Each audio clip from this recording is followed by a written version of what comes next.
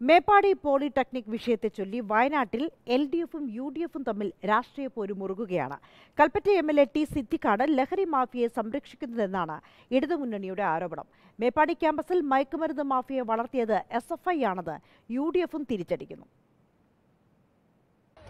മേപ്പാടി പോളിടെക്നിക്കിലെ സംഘർഷവുമായി ബന്ധപ്പെട്ട് വയനാട്ടിൽ എൽ ഡി എഫും യു ഡി എഫും തമ്മിലുള്ള വാക്പോര് തുടരുകയാണ്.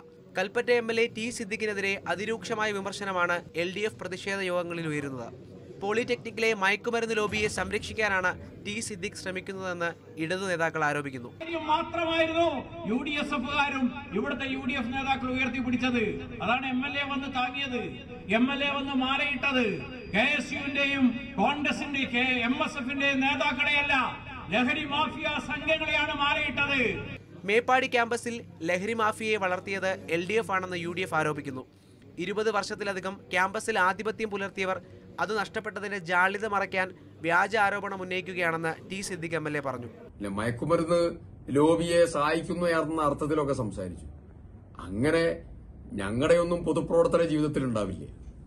അങ്ങനെ ഞങ്ങൾ ചെയ്യാൻ ഞങ്ങൾ സി പി എമ്മും സി പി എം ജില്ലാ സെക്രട്ടറിയെ പോലെ സംസാരിക്കുന്ന ആളുകളൊന്നുമല്ല എസ് എഫ് ഐയും അല്ല. സംഭവത്തിൽ പ്രതിഷേധിച്ച് യു ഡി എഫ് ഇന്ന് മേപ്പാടിയിൽ പ്രതിഷേധ മാർച്ച് നടത്തും. കോളേജിലെ പഠനാന്തരീക്ഷം പുനഃസ്ഥാപിക്കാൻ എ ഡി എമ്മിന്റെ നേതൃത്വത്തിലുള്ള യോഗവും ഇന്ന് നടക്കും. മാതൃഭൂമി ന്യൂസ് വയനാട്